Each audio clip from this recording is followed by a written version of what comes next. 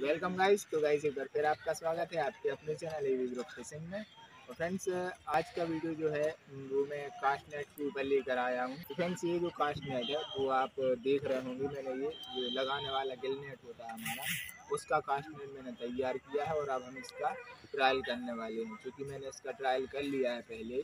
लेकिन वीडियो के माध्यम से मैं आपको ये बता रहा हूँ कि इसमें कितनी मछलियाँ किस तरह से हमें इसको देखना है, किस तरह से इसमें मछलियाँ आती हैं। तो आप वीडियो में बने रहें और रेगुलर वीडियो को देखते रहें।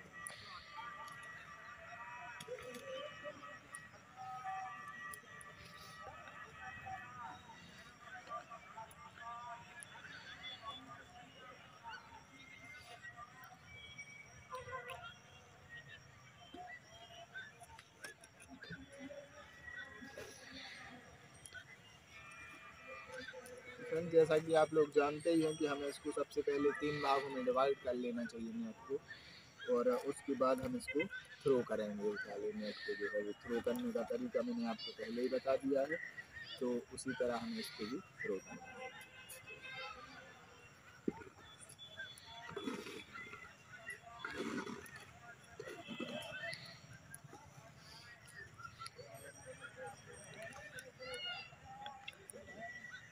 फ्रेंड्स मैं अब इस नेट को थ्रो करने वाला हूँ जो आप देख ही रहिए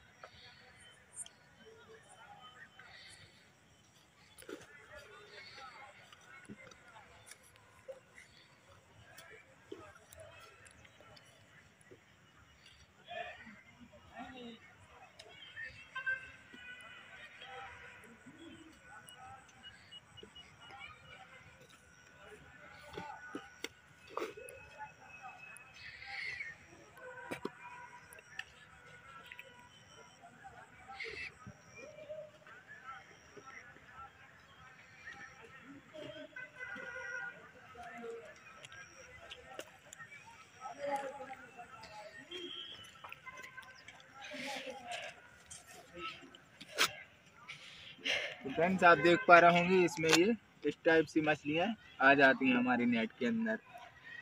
ये गंदा हो गया है मिट्टी में तो आपको मछलियाँ इसमें दिख नहीं रही होंगी। लेकिन इसमें काफ़ी मछलियाँ आ गई हैं आप ये देख पा रहे होंगे।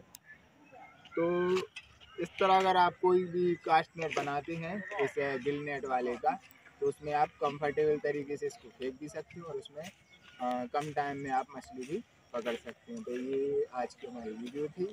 जिसमें हमने पाँच मिनट को थ्रो किया। और अगर आपको ये वीडियो पसंद आता है तो प्लीज़ वीडियो को लाइक कर दो चैनल में नए हैं तो चैनल करना सब्सक्राइब तो मिलती है अगली वीडियो में। तब तक नमस्कार।